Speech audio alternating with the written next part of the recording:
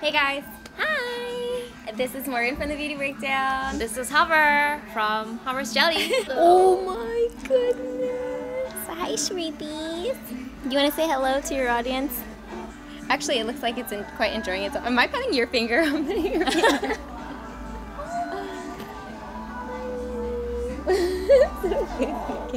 All right, so what are we doing here?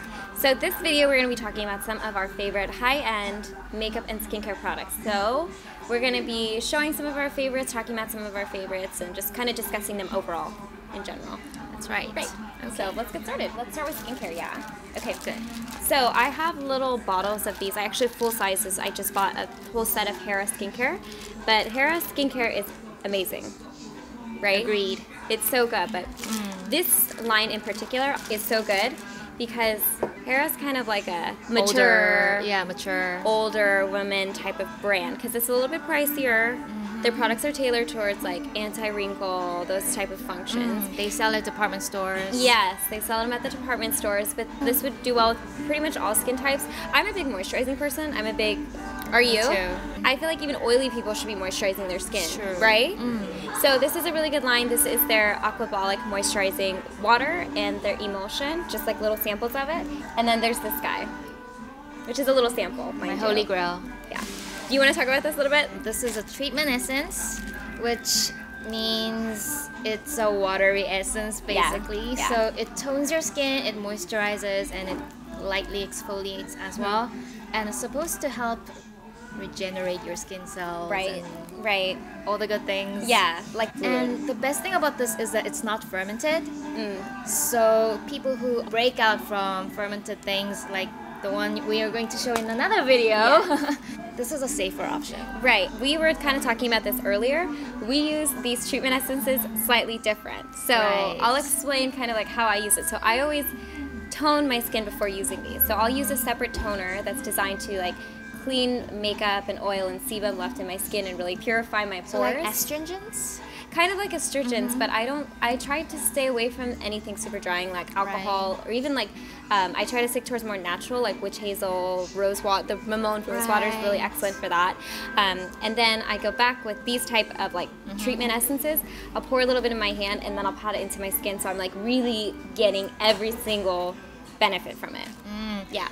Now I use it as a toner most of the time when I do have a toner, then mm. I use it before the toner, mm. and I use a cotton pad mm. with this. So I wipe the skin so that it exfoliates. Yes. But sometimes my skin is quite sensitive, so when oh. my skin is really irritated, mm.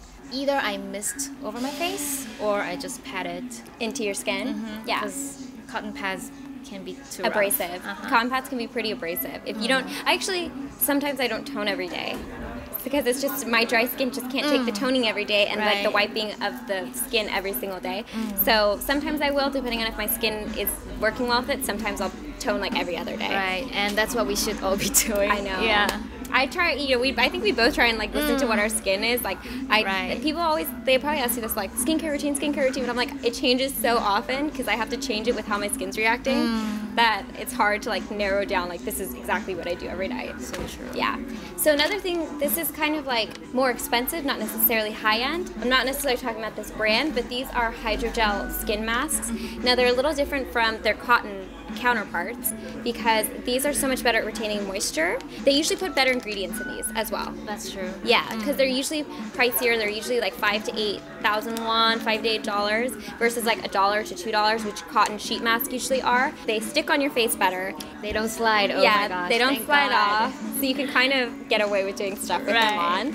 And then they also just feel more moisturizing and feel like they're benefiting your skin mm, more, right? Right. Yeah and they they've been really Korea's really been upping their game with these hydrogel masks. How Second much skin. this specific this was Forty five hundred won. Mm. Innisfree masks are like a thousand won. Right. So this is like four to five times more expensive. Mm. But um, a friend actually recommended this to, this specific Innisfree one to me.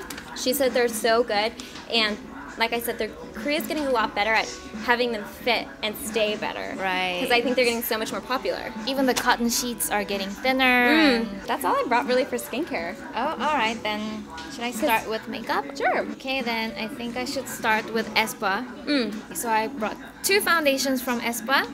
Espoir is high end. Yeah, yeah. I, I consider Espoir high Mm, end. it is high end. Mhm. The biggest reason I like Espoir foundations is that they carry really nice colors. Do they really? Mm. Like a wide range? Or they match the skin tones better? For the latest one, they have eight shades. Mm. So they have the the pale yellow and pink. Okay. And this is like medium light yellow. Do you mind if I try it on my Sure. hand? And they have a couple dark shades Couple as dark well. shades. This is actually like quite light on my This skin. is, yeah, this looks Mm. really light. It's still light on my skin, but most of the foundations oxidize on my face. So once it's Does oxidized, this oxidize well? Mm, I put I way too think much. it's yeah. Oh, it smells good too. It sticks to the face Look better than. I expected. oh my gosh. I was like, on my hand. That's the thing. You cannot control the pump.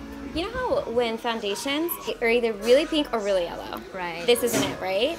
This one is the yellow version, so it's called the Ivory Pure. Okay. But they have Ivory Warm, which is ironically pink.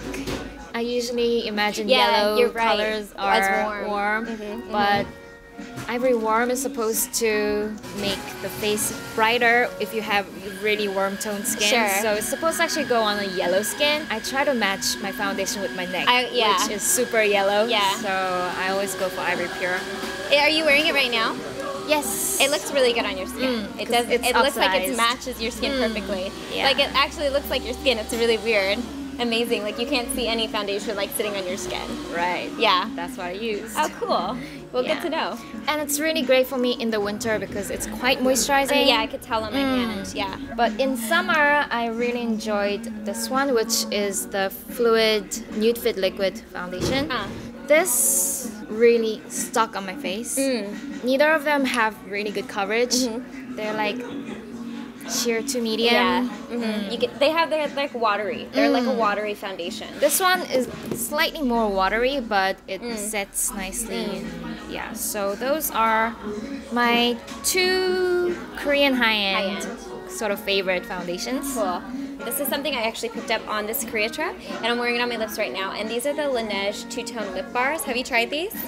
Oh my gosh! Have you tried Actually, these? I tested it and I didn't quite like it. Really? It was so hard to put it on because I have really strange lips. I can't fill my entire lips because it just looks weird. Uh huh. So I always have to blur out Mm. the outline. I'm getting distracted because there's a cat right here behind the camera. Oh He's the director cat. Mm. Hi, kitty. Okay, lipsticks. Sorry, guys, distracted. These are really nice because they're moisturizing, because they're balmy, and I really like balmy lip products because I have such dry lips, and I can't get the gradient lip for the life of me. I can't do it with tints mm. because it always just like blotches or wherever I lay it down first, it always just sticks. And then I get a, mm. you know, people are like, oh, use your finger to blend or a, a, makeup brush. Then I stain the brush and I stain my fingers. So it's just True. it's just too much of a pain in the butt. It does a really good job of like fitting your lip, and it just makes it so much easier. Like it's so stark the difference. I don't know if Wow. you guys can see that. It's actually a white against reddish pink. This is the this is the. But it looks um, so natural on the lips though. Yeah, it's really cool because it's this was the most stark difference, like the Mm. most obvious difference. So I was like, okay, well, I'll go for it. But somehow the top Yeah. is still the darkest, and when it gets to the middle, it somehow blends itself together. And then I just kind of like squish my lips together a little bit. It like works like a dream. These are really good. I saw one that had like bright orange and then Mm. pink. I was like, no, that's not gonna Yeah. work. So, Yeah. But this is actually really pretty. I'm gonna be completely honest. I don't think I cared for any of the other shades. Mm, I mean, of course, I tested them. I didn't Makes test them on my lips, Uh-huh. but I know myself, and I think this is the only one I would have really liked. This is in shade number four, Milk Blurs, and I think this is one of the more popular shades as well. Mm. Yeah. Well, then I'll talk about my high-end shadows. These are also from Espoir. Oh my goodness. This is a gorgeous shade. It's called Her Holiday. Oh, it's pretty. It looks really pretty in the pan. it's Gold. Uh-huh. It's like glittery but also metallic kind Ah, of shimmer. uh-huh. Mhm, mhm. And on the eyes, it's just so gorgeous. I don't have it on my eyes right now, but it's great for every day, but you can also like glam it up. Yeah. It's- Like pack it on. Mm. Yeah. And from the same line, I have Stay Bare. It's like a rose brown matte. I love these colors, by the Mm. way. It's subtle, but Mm-hmm. it's also great for you know just contouring eye makeup. Yeah. And just on in the crease area, it just works anywhere. And I feel like these type of like wo- like warm browns go well with yellow based skin and pink based skin. Mm. Right. So they work Both. well with like all skin tones as well. Right. Yeah. These two are great. Just wish they weren't so expensive. They're like ten dollars, which is actually very expensive for Korean mm, brands. for Korean road shop, Yeah. it's quite expensive. Actually, I find it challenging unless you're going to like the department stores to find expensive eyeshadows. Like Mm. Right. Mm. they're usually around like five to eight dollars, which for me is really cheap.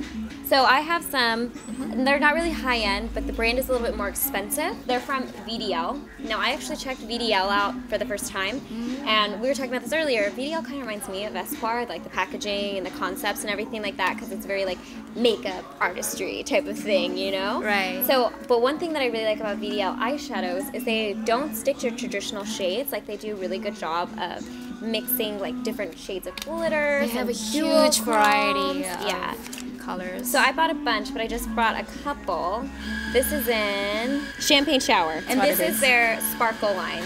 I don't know if you guys will be able to see how amazing this is. It's like just straight up glitter. So I was like super excited for this. And then there's I just brought a couple. This is in their jelly formula, which is I- jelly. yeah, I think it's a little different. I don't know why they call it jelly, honestly, because in my opinion, it's not like super jelly. It's like a really cool khaki, kind of- khaki color. Yeah, but it's still pretty powdery. I love the metallic finish. Yeah, dip baby dip. I don't know what that means, Me but. I like dip baby dip. And then last but not least, this one's cool because this is also kind of colors you don't really see a ton in Korea, like these deep, really vampy type of colors.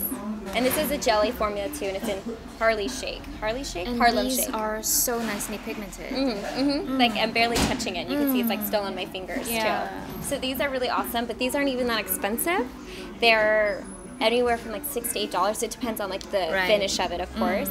They're like MAC quality eyeshadows, and MAC even in the United States is like 16 bucks or something ridiculous for eyeshadows. I haven't bought a MAC eyeshadow in so long. I haven't even visited their Yeah. shops in ages. I like refuse to. It's like way too expensive. Right. So. if you do Korean makeup, Mm. you have to always do the inner corners with Mm-hmm. Yep. glitters. Mhm. It's actually dried out because I bought it a couple years ago. And then you hold not. You, this is I do the same thing. You you don't use it because it's so like you spend so much money on it, and then it ends up drying out or going bad. Does that not apply in your eyes still? It's just It does. It's I just need to Put a- know, put something underneath it, right. to keep it stay. But it's it's like, really pretty. really sparkly, glittery, but it's not chunky. Yeah, yeah, you can tell. Perfect. Yeah. especially in winter. It's Amazing. gorgeous. I'm like getting excited like looking at that swatch on your hand. Like I'm all smiley just like looking at it. I'm like, it's so pretty. It is. Yeah, I really like it. Is your what's your dupe? You, oh no, Oh, we're gonna show that in Yeah. the next one, right? Mhm. And I'll just tell you the shade. It's um, Chanel's Illusion d'Ombre Mm, in 81 Phantasma. yeah. I really like that. Mm, it's gorgeous. I think that's all, uh, pretty much all that I Yeah. brought for high end. All right, guys. So I think we talked a lot. We kind We of did. Yeah, we talked about just a couple products, but just some products that we really, really like as far as high end goes. Right. So high end, quote unquote. All right, guys. So we are going to be talking about the lower end. Some of them are dupes, Yes. right? And some of them are favorites. Mhm. And yeah, so if you're curious, please click on Morgan's face. so you can check check her out and don't forget to subscribe on her amazing channel. Yes. And I'll see you guys in my next video. Bye. Bye, guys.